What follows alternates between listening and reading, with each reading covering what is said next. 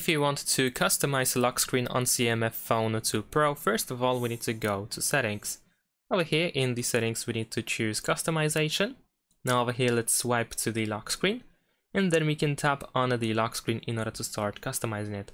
Over here we can swipe in order to use a different style for the clock. As you can see we have a bunch of different options. So let's say I'm gonna choose this one.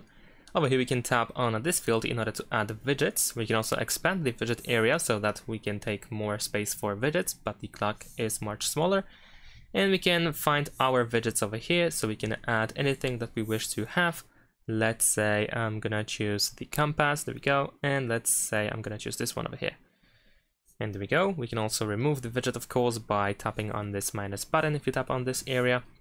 Besides that, we have shortcuts available at the bottom side. So over here we can tap on the shortcuts in order to choose a different shortcut or you can set it to none if you don't want to use the shortcut at all. And that's pretty much it. And of course we also have the wallpaper option so we can choose a different wallpaper for the lock screen if you wish to. So that's about it. Thanks for watching, leave a like and subscribe to my channel and see you in my next videos. Bye!